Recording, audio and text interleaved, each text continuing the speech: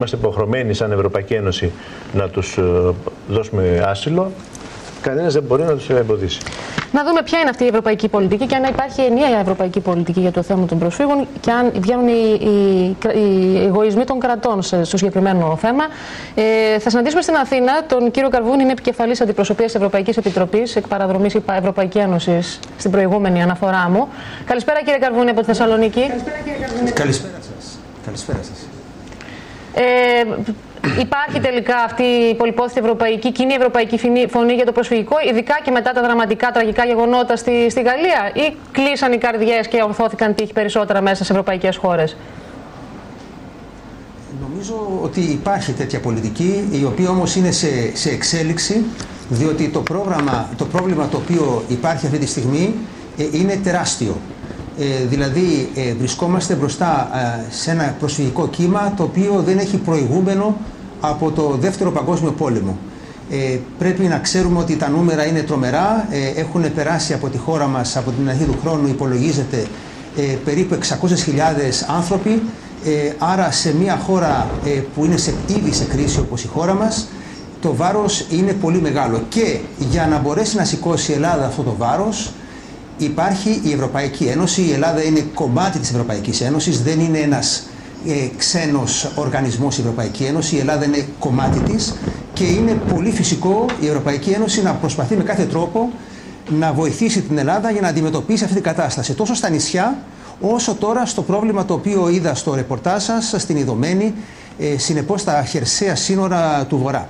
Υπάρχει λοιπόν μια ε, πολιτική ευρωπαϊκή η οποία προσπαθεί αφενός με να βοηθήσει ώστε να υποδεχτούμε με ε, όρους θα έλεγα ανθρωπιστικούς τους ανθρώπους οι οποίοι ε, προσπαθούν να φύγουν από μια εμπόλεμη κατάσταση και στη συνέχεια να τους υποδεχτούμε, να μπορέσουμε να τους ιτήσουμε και να τους στεγάσουμε για ένα διάστημα ώσπου να καταγραφούν και στη συνέχεια να μετεκατασταθούν σε άλλες χώρες της Ευρωπαϊκής Ένωσης διότι χωρίς αλληλεγγύη μεταξύ των χωρών μελών της Ένωσης δεν μπορεί να λυθεί το προσφυγικό ζήτημα. Είναι πολύ μεγάλο για να το ε, βαστάξει στα, στους ώμους της μια χώρα σαν τη δικιά μας ή οποιαδήποτε άλλη χώρα. Ακόμα και η Μεγάλη Γερμανία έχει και αυτή πρόβλημα. Εδώ όμως κύριε Καρβούνη υπάρχει ένα, υπάρχει ένα άλλο πρόβλημα.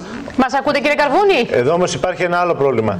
Ε, ναι, ε, ε ωραία να τους υποδεχτούμε, να μπουν και τα hot spots, να γίνει και καταγραφή, να γίνουν όλα. Από εκεί πέρα όμως βλέπουμε ότι τουλάχιστον από ελληνικής πλευράς τους αφήνουμε στην τύχη τους. Φτάνουν συνειδωμένοι όπως φτάνουν, ε, μέσα στη λάσπη. Και συνειδωμένοι δεν έπρεπε να υπάρχει το ελληνικό κράτος εκεί πέρα, τουλάχιστον τα στοιχειώδη. Είδαμε κάποιες σκηνές, αλλά είναι μέσα στη λάσπη οι άνθρωποι, μέσα στο κρύο, μέχρι να, να φύγουν.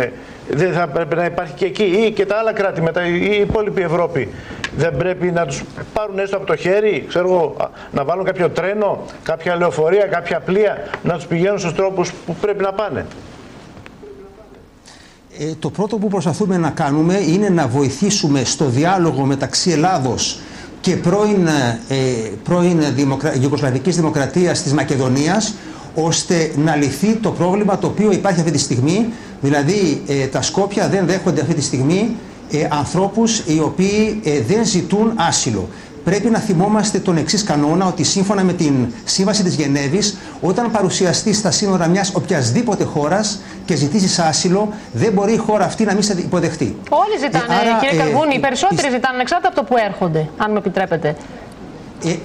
Ε, λοιπόν, αυτό είναι το πρώτο. Εάν ζητούν άσυλο πρέπει να τους δοθεί πρόσβαση. Τώρα, ε, αυτό το οποίο συμβαίνει είναι ότι αφενός με η Ευρωπαϊκή Ένωση προσπαθεί να βοηθήσει στο διάλογο μεταξύ των δύο χωρών για να περάσουν αυτοί οι άνθρωποι, από την άλλη θα έλεγα η Ελλάδα μπορεί να κινητοποιήσει ε, και άλλους πόρους, ευρωπαϊκούς πόρους εάν είναι σε μεγάλη δυσκολία να αντιμετωπίσει το πρόβλημα που βλέπουμε μπροστά μας αυτή τη στιγμή στους δέκτες μας, το οποίο είναι τρομερό. Υπάρχει, υπάρχει ε, ένας μηχανισμός ευρωπαϊκός πολιτικής προστασίας που ενδεχομένως η Ελλάδα μπορεί να κινητοποιήσει ώστε να έρθει βοήθεια άμεση σε είδος και να μπορέσουν αυτοί οι άνθρωποι να βοηθηθούν ώστε να βρεθεί η πολιτική λύση και να περάσουν ένα τα βασικό πρόβλημα σε σχέση με τη διαχείριση που κάνουν τα ευρωπαϊκά κράτη ότι δεν είναι διατεθειμένα να δεχθούν το βάρος που τους αναλογεί σε πληθυσμό προσφύγων. Και αυτό είναι ένα μεγάλο ζήτημα.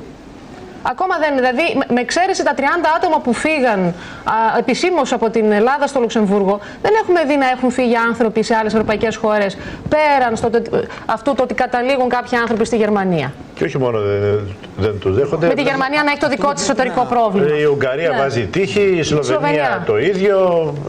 Ε, τι, τι θα γίνει δηλαδή; Δεν πρόκειται, με τα τύχη, δεν πρόκειται φυσικά με τα τύχη να λυθεί το πρόβλημα. Ε, η Ευρωπαϊκή Ένωση ε, δεν είναι τύχη, ε, είναι ακριβώς ε, η ελεύθερη διακίνηση, αυτό που λέμε η απόλυτη ελευθερία διακίνησης των ανθρώπων. Αυτό που έχει αποφασιστεί ήδη είναι ότι 160.000 πρόσφυγες οι οποίοι κυρίως έρχονται στην Ελλάδα και σε μικρότερο ποσοστό στην Ιταλία θα μετεκατασταθούν ε, τους επόμενους μήνες σε άλλες χώρες τελικής υποδοχής όπου θα τους παρασχεθεί και το άσυλο. Έχει ξεκινήσει, γιατί, ε, όπως είπατε πολύ σωστά, για ένα πληθυσμό πολύ... μιλάμε κύριε Καρβούνη; Για, για τις 30-35 που λέγανε; Για 160.000 ε, το οποίο νούμερο φυσικά όταν δούμε ε, τη ροή η οποία υπάρχει τώρα στην χώρα μας ε, φυσικά δεν είναι αρκετό αλλά είναι μία αρχή ούτως ώστε ε, να μπορέσει το σύστημα αυτό να γίνει πιο αποτελεσματικό και οι άνθρωποι αυτοί να μετεγκατασταθούν στη χώρα της, τελε, της τελικής τους υποδοχής. είναι λοιπόν ένα σύστημα αλληλεγγύης... Για να καταλαβαίνουμε, αυτή, κύριε Καρπούνη, συγγνώμη λίγο, έχει μια καθυστέρηση ο ήχος. Αυτοί οι 160.000 είναι όσοι είναι ήδη στη Γερμανία, στην Ολλανδία ή αυτοί που θα έρθουν στην Ελλάδα; 160.000 είναι η, είναι η υποχρέωση μετεκατάστασης στις χώρες τους που ανέλαβαν οι διάφορες χώρες πλην Ελλάδος και Ιταλίας. Έχουν λοιπόν πει ότι ναι, στα, αυτοί, το μεταξύ 2015 Αυτοί βρίσκονται τώρα στην Ευρώπη ή είναι αυτοί που θα έρθουν; Αυτό είναι αυτοί που πέρασαν ήδη από την Ελλάδα και έχουν προορισμό ευρωπαϊκά κάτι ή αυτοί που θα έρθουν. Κανονικά η μετεκατάσταση γίνεται με έναν τρόπο θα έλεγα τυπικό και επίσημο και είναι κυρίως αυτοί οι οποίοι είναι ήδη στην Ελλάδα και στην Ιταλία. Αυτή τη στιγμή έχουν φύγει πολύ λίγοι από αυτές τις χώρες για την τελική τους μετεκατάσταση. Για να γίνει η μετεκατάσταση πρέπει να καταγραφούν, να γίνει δακτυλοσκόπηση, να γίνει η ταυτοποίηση και στη συνέχεια να ε, γίνει η επιλογή σε ποια χώρα θα πάνε και να γίνει το τελικό ταξίδι προς αυτή τη χώρα ώστε να εγκατασταθούν. Άρα βρισκόμαστε στην γίνει, αρχή αυτής Θα γίνει πάλι με το αεροπλάνο όπως πήγαν αυτοί στο Λουξεμβούργο. Κύριε Καρβούνη, το τελικό ταξίδι θα γίνει, θα γίνει έτσι; Ακριβώς. Μάλιστα. Ακριβώς. Και εδώ είναι το ερώτημα. Η αυτή, η, αυτό. αυτό το ασφαλές ταξίδι, γιατί δεν ξεκινάει από την Τουρκία και ξεκινάει από την Ελλάδα. Που είναι και, αυτό φαντάζομαι θα γίνει και στην Τριμερή, που είναι, υπάρχει μάλλον μια σύνοδος κορυφής στην οποία θα συμμετάσχει και η Τουρκία. Αυτό το ταξίδι να ξεκινάει με ασφάλεια από την Τουρκία και να μην χρειάζονται οι άνθρωποι να περνάνε τα παράλια. Να πνίγονται, να πνίγονται και μετά να ψάχνουμε λύσεις.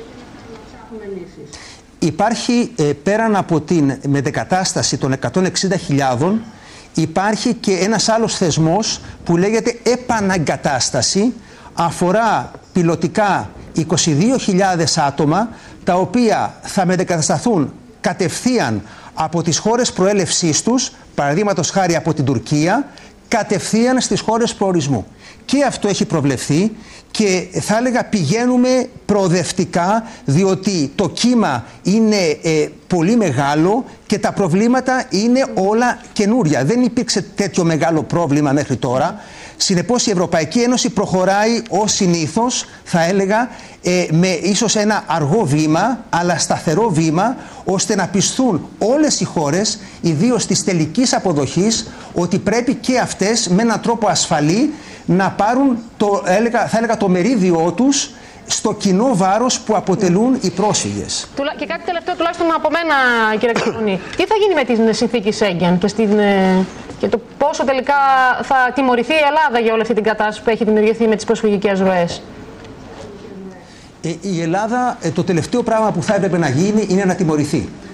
έχει επιδείξει πολύ μεγάλη αλληλεγγύη απέναντι σε αυτούς τους ανθρώπους και απέναντι στην Ευρώπη, διότι τηρεί τις υποσχέσεις της και σηκώνει ένα πολύ μεγάλο βάρος. Ίσως, ίσως όχι με το πιο θα έλεγα ορθολογικά οργανωτικό τρόπο, διότι το κύμα προσφύγων είναι πολύ μεγάλο, αλλά η Ελλάδα προσπαθεί να ανταποκριθεί. Άρα ε, δεν θα πρέπει να υπάρξει πουδενή λόγο κλείσιμο συνόρων, γιατί περί αυτού θα επρόκειτο.